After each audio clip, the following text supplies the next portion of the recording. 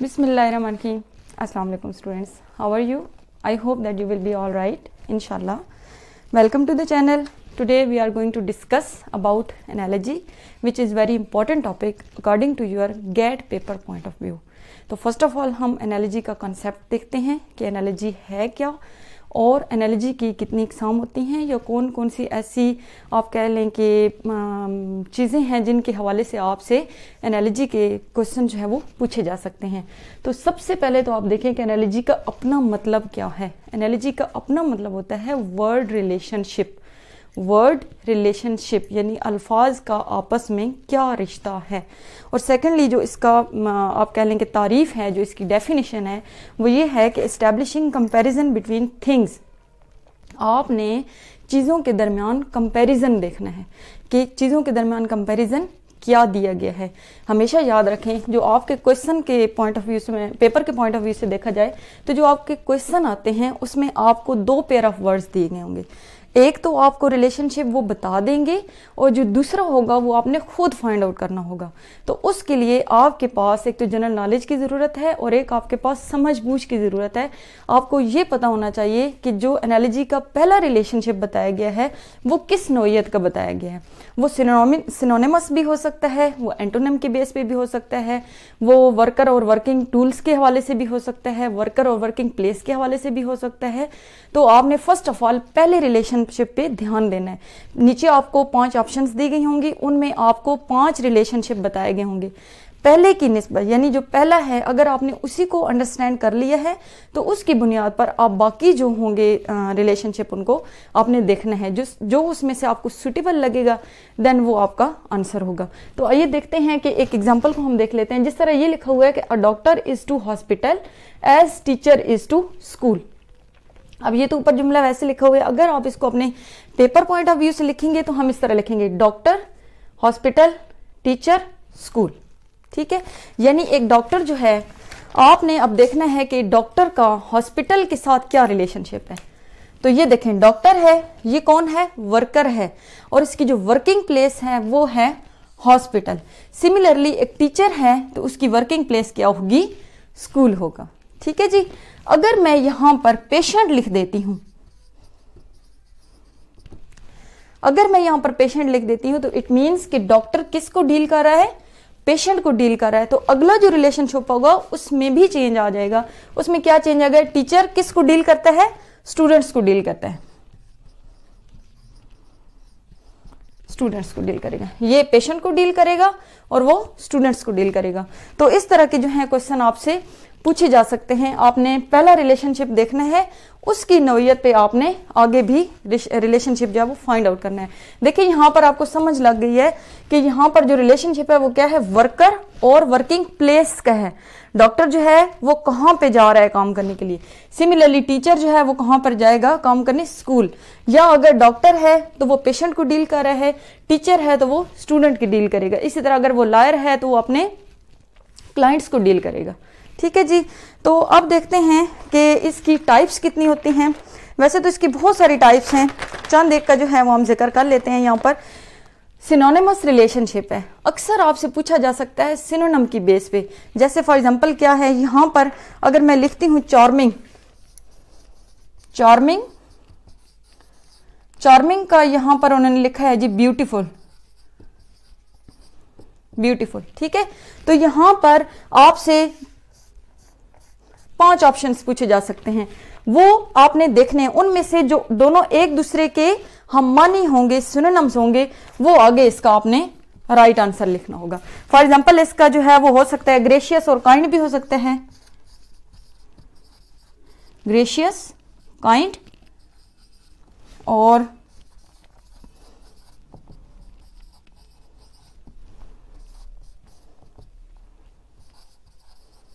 या सो इस तरह हो सकता है। अब मुझे बताएँ गुड और बैड भी एक दूसरे के अपोजिट है अप और डाउन भी एक दूसरे के अपोजिट हैं। अगर कोई सेम है हमानी है सुनम है तो वो ग्रेशियस और काइंड है। तो ये जो है हमारा राइट आंसर होगा। क्योंकि हमने यहीं पे देख लिया है कि चार्मिंग और ब्यूटीफुल ये दोनों एक दूसरे के सिनोनम्स हैं, हम मानी अल्फाज हैं। तो हमने जो नेक्स्ट रिलेशनशिप देखना है, वो भी हमारा हम मानी ही होना चाहिए। सिमिलरली अगर यहाँ पर एक दूसरे के उलट लिखा हुआ होता तो हम यहाँ पर भी रिलेशनशिप कोई उलट ही फाइंड आउट करते यानी वो एंटोनिम्स के हवाले से हो जाता है। ये तो सिनम्स के हवाले था, वो अगला एंटोनिम्स के हवाले से भी हो सकता था। इसी तरह वर्कर और वर्किंग जो टूल्स होते हैं, उनका भी आपसे क्वेश्चन पूछा जा सकता है। फॉर एग्ज़ाम्पल जिस तरह टेलर जो है, वो नीडल से काम करता है तो नीचे आपको पाँच ऑप्शंस दिए जा सकते हैं कि आपने फाइंड आउट करना है कि कौन सा जो वर्कर है, वो किस टूल से काम करता है। तो इसमें भी आपका जनरल नॉलेज होना ज़रूरी है। आपको मालूम होना चाहिए कि कौन सा वर्कर जो है, वो किस टूल के साथ अपना काम करता है। साथ जो है पार्ट एंड होल रिलेशनशिप के हवाले से भी आ सकता है, या आपसे एनिमल्स और उनके साउंड्स के हवाले से भी आ सकता है। जिस तरह डॉग जो है, वो बार्क करता है, जो आउल है, वो हूट करता है। तो आपको एक जो है, जिस तरह लाइन है फॉर एग्जांपल मैं आपको बताती हूँ, जिस तरह अब लाइन है, वो रोर करता है, यानी वो धाड़ता है। तो आगे से आपको ऑप्शंस दिए गए होंगे। उसमें से आपने जो सही एग्जैक्ट होगा, वो आपने आंसर लिखना होगा। यानी जिस तरह लाइन है लाइन क्या करता है? वो रोर करता है, यानी दौड़ता है। तो ये क्वेश्चन मार्क है। अब नीचे जो है वो आपको पाँच ऑप्शन दिए गए होंगे। ये चार ऑप्शन आपके पास होंगे। आपने एग्जैक्ट जो ऑप्शन होगा, उस पर टिक करना है, यानी कौन सा एनिमल किस साउंड को जो है वो अपने मुँह से निकालता है या किस तरह का उसका साउंड होता है। तो जो एग्जैक्ट होगा, वो आपने यहाँ पर आंसर के तौर पर लिख देना है। जिस तरह आप कह लें कि डॉग जो है वो बार्क करता है, अगर ऑप्शन में डॉग और बार्क लिखा हुआ आ गया है तो वही आपने यहाँ पर पुट कर देना है। क्योंकि हमें मालूम है कि डॉग जो है, उसके साउंड को हम बार्क कहते हैं। यह हैन जो है वो क्रैकल करती है और ड्रम जो है वो बीट करता है बी जो है वो हम करती है और फ्रॉग जो होता है वो क्रॉक करता है। तो ये चीज़ें याद अपने रखनी है। इसी तरह पर्पज़ और रिलेशनशिप है। यानी अक्सर आपसे पूछा जा सकता है कि पर्पज़, रिलेशनशिप कि हमारी जो आई है, उसका क्या पर्पज़ है? सी तो आगे आपसे क्वेश्चन पूछ जा सकते हैं। इसी तरह ऑप्शन नंबर वन में आपसे आ सकता है नोज़ स्मेल ठीक है? इसी तरह आपसे कोई और भी। अब यहाँ पर अगर वो हैंड है, ठीक है? तो हैंड के साथ कुछ भी वो उल्टा सीधा लिख सकते हैं, लेकिन इनमें से जो ठीक है, वो ये है। नोज़ जो है, उसका काम है स्मेल करना। ठीक है? स्मेल को सूंघना, जो है हमें बताना कि इस चीज़ की खुशबू अच्छी है ये बुरी है, ये हमारी आँखों का काम है देखना। हमारी जो टंग होती है, जो ज़ुबान है, उसका काम है चखना। तो जो भी आपको सही लगे कि यहाँ पर सही आंसर है, वही आपने नेक्स्ट जो है वो लिख देना है। ठीक है जी? नेक्स्ट जो है वो है प्लेस रिलेशनशिप के कौन सी जगह जो है वो कहाँ पर है? जिस तरह पाकिस्तान, अगर आप पाकिस्तान के हवाले से देखा जाए तो कराची जो है वो पाकिस्तान के अंदर है। इसी तरह वाशिंगटन जो है वो यूएसए के अंदर है। तो ये आपको पता होनी चाहिए कि कौन सी जगह किस मुल्क के अंदर है। नेक्स्ट जी है इंडिविजुअल एंड ग्रुप रिलेशनशिप के हवाले से भी बात की जा सकती है कि अगर एक अकेली भेड़ है तो उसको आप शीप कहते हैं। शीप कहते हैं। अगर वो अपने इकट्ठी हो जाएँगी वो सारी भेड़ें तो वो फ्लॉक बना देंगी। इसी तरह आपसे क्वेश्चन मार्क होगा तो आपको पता होना चाहिए कि कौन सा एनिमल अगर वो अलग है, जिस तरह फॉर एग्जांपल यहाँ पर जो है, वो है म्यूजिशियन फॉर एग्जांपल एनिमल के हवाले से अलग मतलब। म्यूजिशियन जो हैं, वो जब सारे इकट्ठे मिलते हैं तो वो एक बैंड बनाते हैं। या जिस तरह बीज हैं, वो सारी मक्खियाँ जब इकट्ठी होती हैं तो उनका जो छत्ता होता है, उसको हम स्वम कहते हैं। अगर लोग हैं पीपल हैं, अगर एक दो हैं तो वो पीपल हम कहेंगे, अगर वो ज़्यादा इकट्ठे हो गए तो हम उनको क्राउड कहते हैं। तो आपको ये चीज़ भी मालूम होनी चाहिए कि इंडिविजुअल क्या है, और ग्रुप की फॉर्म में अगर वो हो जाएँगे तो तब उनको क्या कहा जाएगा। सही है जी। इसी तरह आपको क्वांटिटी का पता होना चाहिए और इनके जो है वो यूनिट्स के किस क्वांटिटी को किस यूनिट में नापा तोला जाता है। जिस तरह आप कह लें कि वज़न हम करते हैं तो हम उसको केजी वगैरह में करते हैं। एनर्जी है तो उसको जाउल में करते हैं। एंगल है तो उसको हम रेडियन में करते हैं। तो ये चीज़ें में आपको पता होनी चाहिए। इसी तरह वर्कर और उसकी प्लेस है कि कौन सा वर्कर कहाँ पर काम करता है। जिस तरह हमने पहली एग्ज़ाम्पल दी थी कि डॉक्टर जो है वो हॉस्पिटल में काम करता है और शेफ़ जो है वो किचन में काम करेगा। जो लॉयर है, वो कोर्ट में काम करेगा।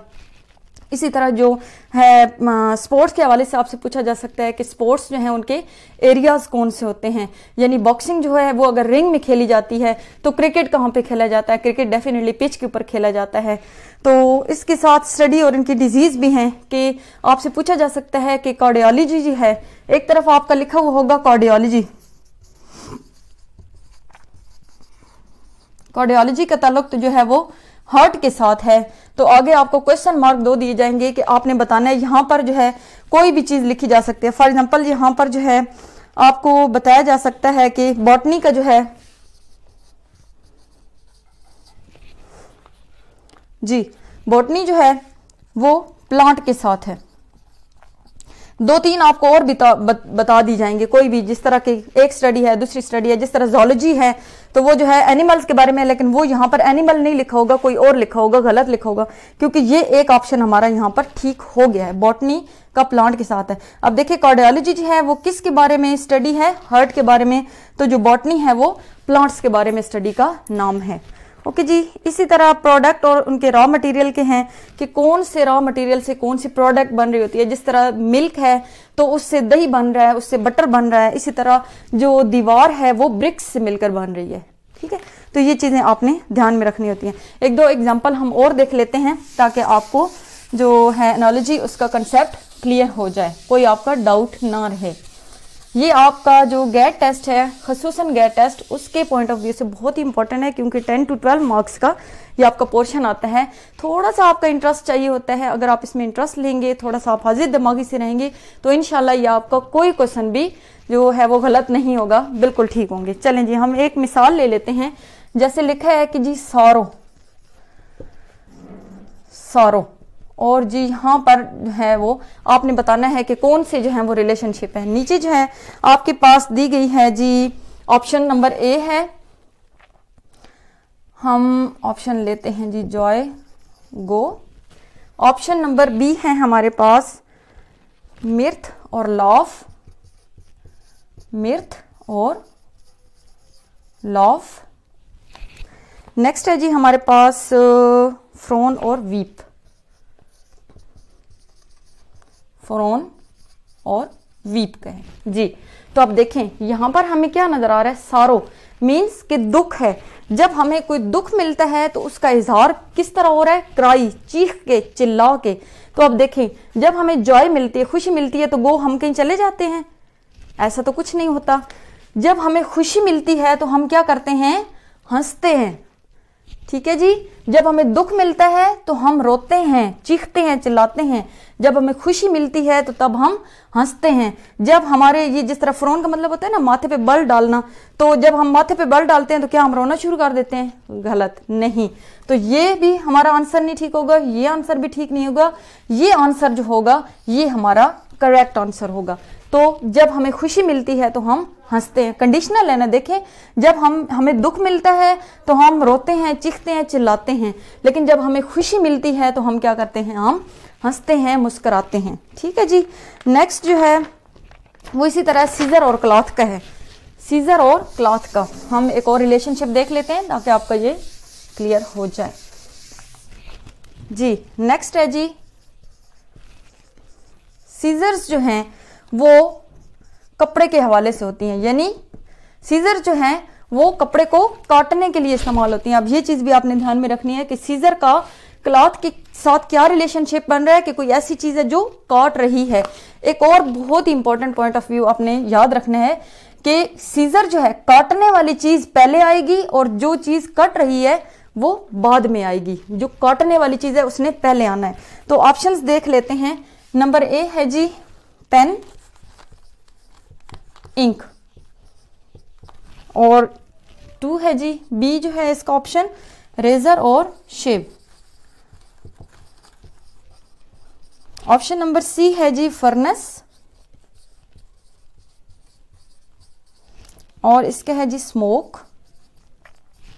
और नेल और हैमर।